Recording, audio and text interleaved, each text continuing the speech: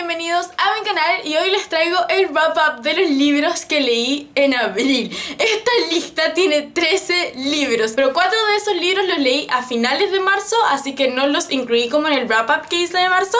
Así que, para que no alarguemos tanto el video, vamos a partir inmediatamente con la lista. Para separar las cosas, primero vamos a partir con los que leí en marzo. En primer lugar, leí What If It's Us de Adam Silvera. A este libro le di 4 de 5 estrellas en Goodreads. El libro básicamente va, es de estos dos niños que se encuentran en Nueva York en una oficina como donde se envían los correos, eh, se encuentran por esas cosas de la vida y empiezan como a hablar y como que tienen una pequeña conexión y se empiezan a gustar, pero ahí llega todo y después se separan.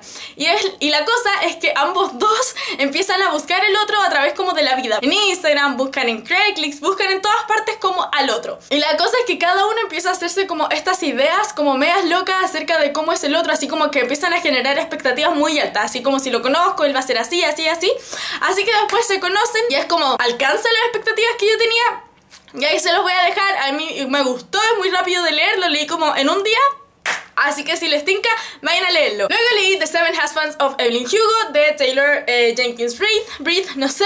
Este libro me gustó mucho, de hecho leí 5 estrellas de 5 en Goodreads. Esencialmente es de una actriz que es súper famosa, ahora está retirada, es vieja y quiere finalmente contar su historia, como su historia con todas las verdades, su historia con todos los secretos y, nos y contrata, bueno, a esta niña que trabaja en una revista y le dice como ya, yo quiero que tú escribas la historia. Y ahí es cuando empezamos a descubrir todos los secretos y en verdad una historia súper cautivadora que a mí me enganchó de la página número uno y como que sabemos todo lo que pasa detrás de su vida y en verdad una vida muy muy muy interesante y me gustó mucho, así que no les quiero decir mucho más porque es un libro en el que tienes que entrar sin saber mucho, pero tienen que saber que es un muy buen libro, está muy bien narrado y los personajes son demasiado interesantes. Continuando, me gustó tanto ese libro que decidí leer otro libro de la misma autora y, de, y leí Daisy Jones and the Six. Este libro es de una niña joven que eh, como que es cantante y quiere ser rockera, es de ella y simultáneamente es de una banda que se llama The Six. Y la cosa es que los dos tienen su buena voz, los dos tienen como sus buenas canciones como por separado, pero cuando se juntan, ahí como que se convierten en dinamitas y todo el mundo los ama y es como, ah,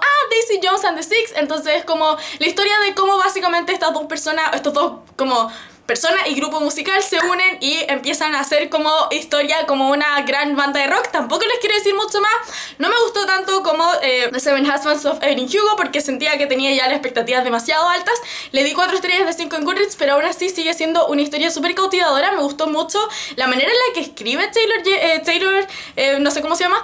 me gustó mucho cómo ella escribe, como que siento que te hace engancharte con los personajes a pesar de que no son personajes con los que tú sientes que tienes mucho en común porque yo no tengo nada en común con una niña que es rockera, que hace drogas y todas las cosas, pero aún así es como que te interesa mucho saber qué es lo que le va a pasar a esta niña. Y después, el último libro que leí en marzo, que de hecho terminé el 1 de abril, así que vamos a partir con abril, es Fear and Darkness de Cassandra Clare. Este es el tercer libro de la trilogía de The Dark Artifices, creo que se llama. Es una trilogía fantástica, me gustó mucho este libro, me gustó mucho la conclusión, pasaron demasiadas cosas, sentí muchas cosas, tiene ilustraciones preciosas de este libro.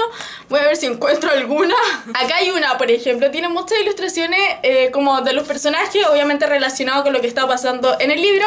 Y es fantástico, no les quiero decir mucho porque claramente es el tercer libro, pero básicamente es como todos los libros de Cassandra Clare, un muy buen libro con una muy buena historia, con muy buen romance, con muy buenas peleas, etc. Previamente, el mes pasado, me había leído un libro de Colin Hoover que se llama All Your Perfect o algo así, entonces decidí seguir leyendo Colin Hoover porque todos los libros que yo he leído de ella me han gustado mucho. Y el que me leí eh, este mes que fue It With Us, no fue ninguna excepción, este libro le di 5 estrellas de 5, lo encontré fantástico, es una historia fantástica, que no les quiero decir mucho, yo hablé de este libro en un video que hice acerca de las relaciones abusivas, y eso en verdad es todo lo que les tengo que decir, pero es un libro honestamente que te hace, aquí tú sí te enganchas con la personaje, y es como que tú estás esperando que ella sea fuerte, estás esperando que ella como que aprenda y que siga adelante y que pueda vivir su vida y que quieres que cumpla sus sueños, y en verdad es un libro que no les puedo recomendar suficiente. Tienen que leerlo, es una historia de amor también, eh, es una historia acerca de amistad, es una historia muy, muy, muy complicada, muy real, que te va a hacer llorar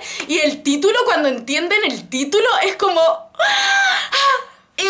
Obviamente, la única única manera de superar a Colin Hoover es seguir leyendo Colin Hoover, así que leí Hopeless. A este libro leí 4 estrellas de 5 en Goodreads, es un libro que también me, me, gustó mucho, pero comparándolo con el que había leído anterior, eh, no lo sentí tan profundo. Aún así, es una historia súper complicada, con muchos plot twists. Es de esta niña que no sé cómo explicárselos sin spoilearlos, porque siento que es muy fácil de spoilear este libro sin querer.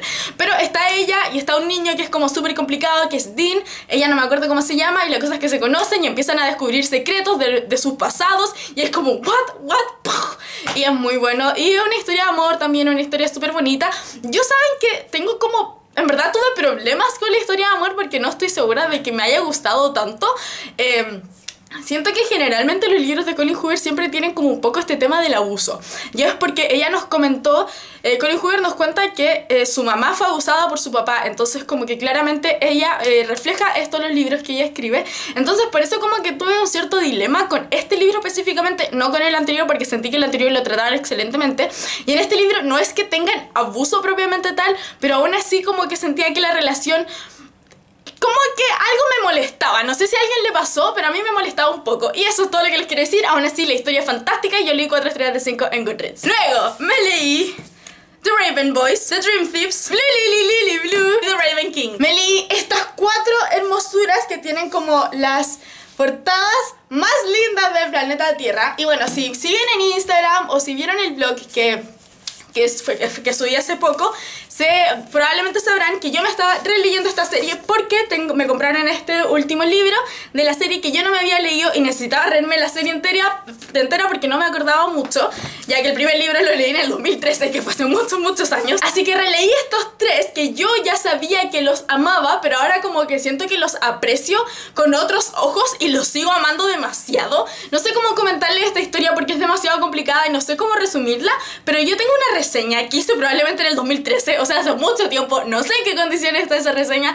pero se las puedo dejar en caso de que les interese, pero en verdad es una historia fantástica. En resumen, tenemos a nuestra protagonista, que es Blue, que le han dicho toda su vida que ella va a matar al amor de su vida si es que le da un beso. Y como que aparentemente conoce el amor de su vida, y es trágico, y es hermoso, y habla de temáticas que nadie habla, yo encuentro que es fantástico es una historia muy única, con personajes muy únicos, muy originales y los amas a todos y amas todo y yo amo estos libros. Luego leí The Promised Neverland, que es un manga que me recomendó mi hermano, que mi hermano eh, lee mucho manga y ve mucho anime y nos pusimos a hablar un día y me dijo como, mira, yo estoy leyendo este manga, puede que te guste. Y ¿saben que me gustó mucho? Es, este manga tiene como 130 capítulos y yo he leído 10. Pero esos 10 capítulos me han gustado mucho. Es básicamente de estos niños que están como en, un, como en un orfanato y la cosa es que como una vez cada dos meses se van yendo los niños y nunca vuelven. Se suponen que son adoptados y se los llevan como a sus nuevos hogares, a tener una mejor vida, bla, bla, bla. Y la cosa es que nos enteramos que no es tan así que en verdad este no es un orfanato, sino que es más como una granja, le dicen en el, en el anime, porque ellos son como el producto, los niños son el producto que después se los comen los monstruos o algo así, y básicamente están ellos como intentando escapar, como ¿qué hacemos? ¿Esto es real? ¿Nuestra madre? Porque ellos tienen como la persona que los cuida, a los que ellos se refieren como mamá, porque la aman, porque ella los ha cuidado toda su vida, pero están como esta mujer nos ha traicionado, y filo, eso es todo lo que les voy a decir, es muy interesante, es una historia como que en verdad yo no leo manga porque no conozco, pero siento que es muy similar a leer un libro. Sigue una historia y me gustó mucho, así que puede que probablemente siga leyendo este manga y puede que siga leyendo más mangas. Así que y los últimos dos libros que leí fue The Savage Song, esta canción salvaje, y Our Dark Duet, que son los dos de eh, Victoria Schwab. Estos son una biología. Los amé, me hicieron sentir demasiadas cosas, como que siento que tenía un alma antes de leer este libro y ahora no. Bueno, la historia es como de esta ciudad que se llama Verity. Acá, cuando hay un tipo de catástrofe o pasa algo muy trágico, de esta tragedia surge un monstruo. Entonces, tenemos estas dos ciudades que están divididas en el norte y en el sur. En el norte ellos pagan para la protección y tenemos sur que ellos pelean. Tenemos a nuestros dos personajes principales, Kate que ya vive en el norte y tenemos a August que vive en el sur. Y la cosa es que ellos dos como que el norte y el sur se odian y los dos niños son hijos de los como comandantes del norte y del sur.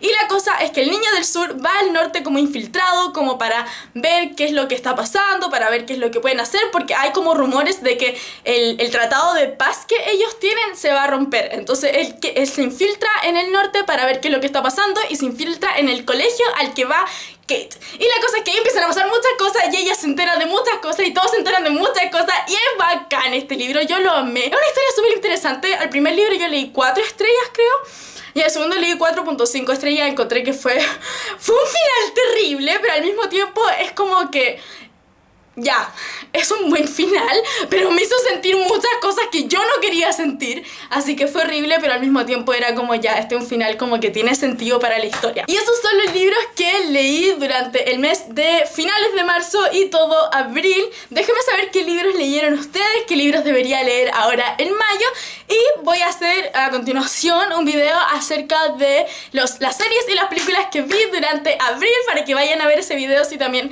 les interesa. Y eso muchas, muchas, muchas gracias por ver el video de hoy. No olviden seguirme en mis redes sociales, en Goodreads, en Instagram.